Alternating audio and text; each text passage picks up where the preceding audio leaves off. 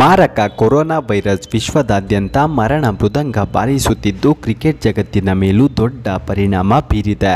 ಈಗಾಗಲೇ ಮಾರ್ಚ್ ಇಪ್ಪತ್ತೊಂಬತ್ತರಂದು ಆರಂಭವಾಗಬೇಕಿದ್ದ ಹದಿಮೂರನೇ ಆವೃತ್ತಿಯ ಇಂಡಿಯನ್ ಪ್ರೀಮಿಯರ್ ಲೀಗ್ ಟೂರ್ನಿಯನ್ನು ಏಪ್ರಿಲ್ ಹದಿನೈದಕ್ಕೆ ಮುಂದೂಡಲಾಗಿದೆ. ಆದರೆ ಸದ್ಯದ ಮಾಹಿತಿ ಪ್ರಕಾರ ಐಪಿಎಲ್ ಎರಡು ಸಾವಿರದ ಇಪ್ಪತ್ತು ಏಪ್ರಿಲ್ ಹದಿನೈದಕ್ಕೂ ಆರಂಭವಾಗುವುದಿಲ್ಲ ಎಂದು ಹೇಳಲಾಗಿದೆ.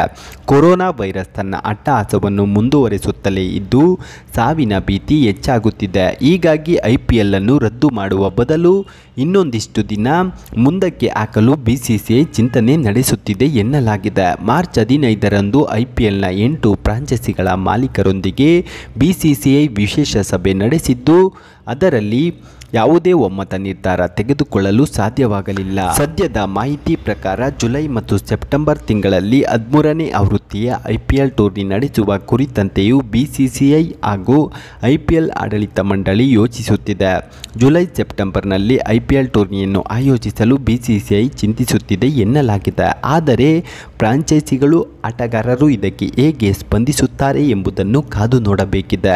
ಇನ್ನು ಬಿಸಿಸಿಐ ಅಧ್ಯಕ್ಷ ಸೌರವ್ ಗಂಗೂಲಿ, ಎಷ್ಟೇ ಕಷ್ಟವಾದರೂ ಐ ಪಿ ಎಲ್ ಟೂರ್ನಿಯನ್ನು ವಿದೇಶದಲ್ಲಿ ನಡೆಸುವ ಪ್ರಶ್ನೆಯೇ ಇಲ್ಲ ಎಂದು ಸ್ಪಷ್ಟಪಡಿಸಿದ್ದಾರೆ.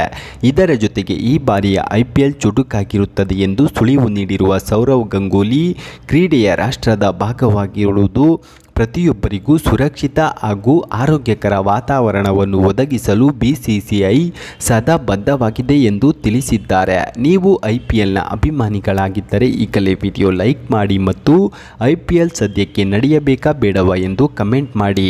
ಇನ್ನೂ ಹೆಚ್ಚಿನ ಸುದ್ದಿಗಳಿಗೆ ತಪ್ಪದೆ ನಮ್ಮ ಚಾನಲನ್ನು ಸಬ್ಸ್ಕ್ರೈಬ್ ಮಾಡಿ.